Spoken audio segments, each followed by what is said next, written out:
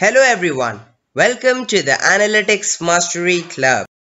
In 1999, stock price of Nike dropped by 20% and Nike suffered sales loss of $100 million. Do you know the reason for this loss? Well, the reason for this loss was due to poor management of supply chain.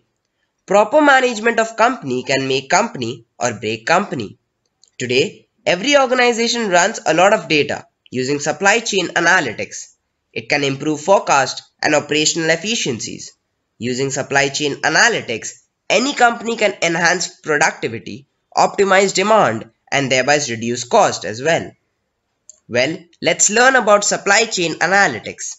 So, supply chain analytics is the use of data in the design, planning, and management of supply chain. An important goal of supply chain analytics is to improve forecasting and efficiency and be more responsive to customer needs.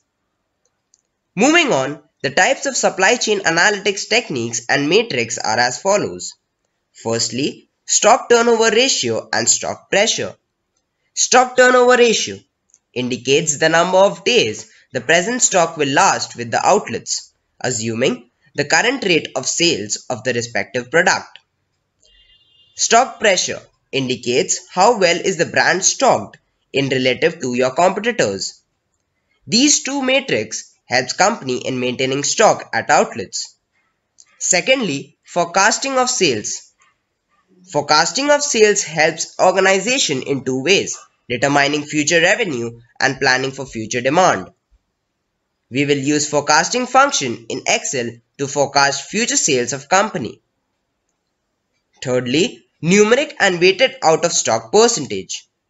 Numeric out of stock is measurement of number stores where company brand is out of stock and weighted out of stock is calculation of opportunity loss due to out of stock in high throughput stores. Fourthly, vehicle routing problem analysis. This analysis helps supply chain team to manage proper route of vehicle so that delivery is at optimum time and less efforts. The vehicle routing problem solves following question. What is the optimal set of routes for a fleet of vehicles to traverse in order to deliver to a given set of customers? Finally, order fill rate and perfect order matrix. Order fill rate is defined as percentage of orders that can be filled based on the inventory at hand.